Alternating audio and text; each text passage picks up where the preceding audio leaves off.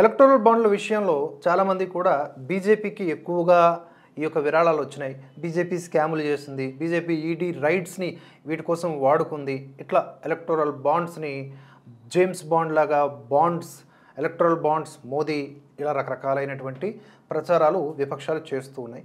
వీటి నడుమ బీజేపీ ఇప్పుడే సరైనటువంటి యాక్షన్ ప్లాన్ని సిద్ధం చేసుకొని విమర్శలు చేస్తూ ఉంది కౌంటర్ విమర్శలు చేస్తూ ఉంది.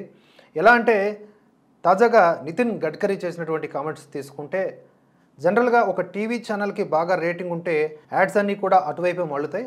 ఎక్కువ రేటు కూడా ఇచ్చి కొనుక్కుంటాయి స్లాట్స్ని.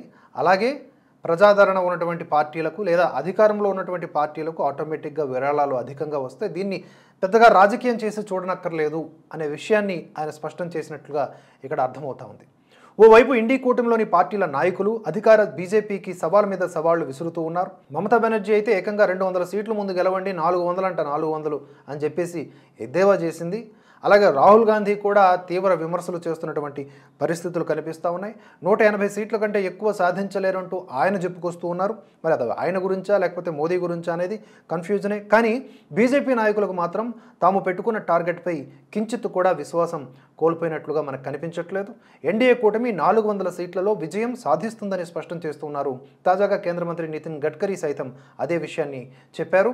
ఎన్డీఏ కూటమి అఖండ విజయం సాధిస్తుంది అని. ఒక ప్రముఖ వార్తా సంస్థ పీటీఐకి ఇచ్చినటువంటి ఇంటర్వ్యూలో మాట్లాడిన నితిన్ గడ్కరీ నరేంద్ర మోదీ నాయకత్వంపై దేశ ప్రజలకు పూర్తి స్థాయిలో నమ్మకం ఉందని ప్రస్తుత లోక్సభలో ఉన్న బీజేపీ సభ్యుల సంఖ్య రెండు వందల ఎనభై ఎనిమిదిని తప్పకుండా అధిగమిస్తుందని భరోసా వ్యక్తం చేశారు.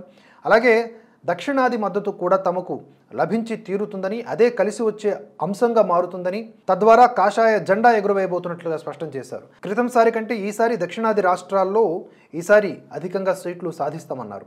సౌత్ సపోర్టుతోనే ఎన్డీఏ టార్గెట్ రీచ్ అవుతామన్నారు. తమిళనాడు కేరళ తెలంగాణ ఆంధ్రప్రదేశ్ కర్ణాటక రాష్ట్రాల నుంచి బీజేపీ ఎక్కువ సీట్లు గడిస్తుంది. గత దశాబ్దంలో ప్రధాని మోదీ నాయకత్వంలో దక్షిణాదిలో బీజేపీ ప్రభావం పెరిగింది. ఎన్డీఏ కూటమి నాలుగు వందల సీట్లకు పైగా గెలుస్తుంది. ఇందులో బీజేపీ సొంతంగా మూడు వందల డెబ్బై కోట్లు సంపాదిస్తుంది అని చెప్పుకొచ్చారు.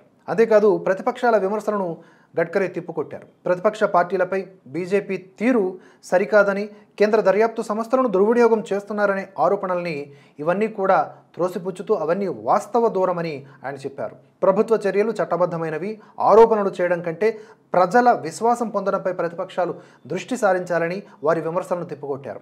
బీజేపీ ఫండ్ రైజింగ్ విధానాలు ఫేవరెటిజంపై వస్తున్న ఆరోపణల్లో నిజం లేదు. అధికార పార్టీ సహజంగానే ఎక్కువ ఫండ్స్ పొందుతుంది. ఇది కూడా కమర్షియల్ అడ్వర్టైజింగ్ లానే ఉంటుంది. దేశంలో బీజేపీ టీఆర్పీ ఎక్కువగా ఉంది. అన్ని రాజకీయ పార్టీలు నిధుల కోసం చట్టపరమైన మార్గాలను కనుగొనడం చాలా అవసరం. అందుకు గవర్నమెంట్ ఒక మంచి ఆప్షన్ అని గడ్కరీ చెప్పారు.